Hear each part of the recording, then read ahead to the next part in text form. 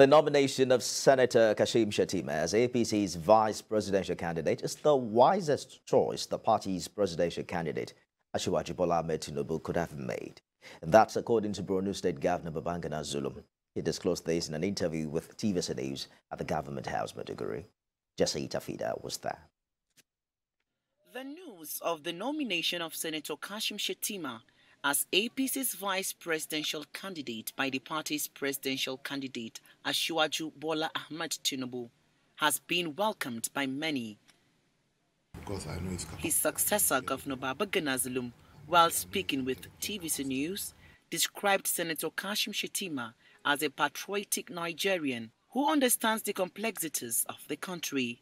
I'm convinced that Bola Tinubu will find in him very good characters his humility, his dedication, and hard working need not to be overemphasized.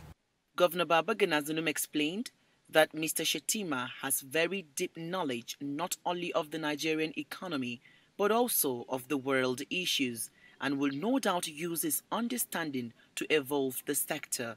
Most importantly, he's a true nationalist. When he was the governor of Borno State, he has appointed many non-indigents as special advisors and advisors. There's one very important in him that I need to mention it, which is inclusivity in his administration. Others who spoke with TVC News see Senator Kashim Shettima as the most suitable candidate to run as vice president. Shettima is a person that you can find a Nigeria in him. He knows what the politics is all about. And if you look at the Muslim Muslim ticket, people are crying about. Shettima is one person that is very fair to all. Uh, when he was the state governor, he made sure that the Christian pilgrims was the highest in the country. All the churches that has been burned down, Shettima made sure that they were renovated. I will assure you that he will, inshallah, deliver, and he is very loyal person. He is very pragmatic person, and he is able to the task.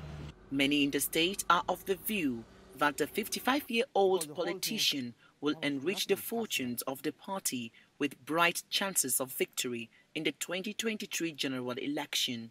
The Distinguished Senator Kashim Shettima deserves that exalted seat because of his doggedness, because of his experience, his capacity, capability, and above all, loyalty to his principle. He has all it takes, he has the requirement, he has the experience, he has a vast quantum of knowledge to be in that particular exalted office.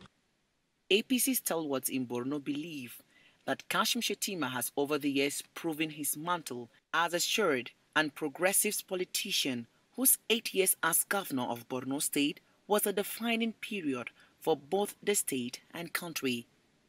Jesse Tafida, TVC News, Maiduguri.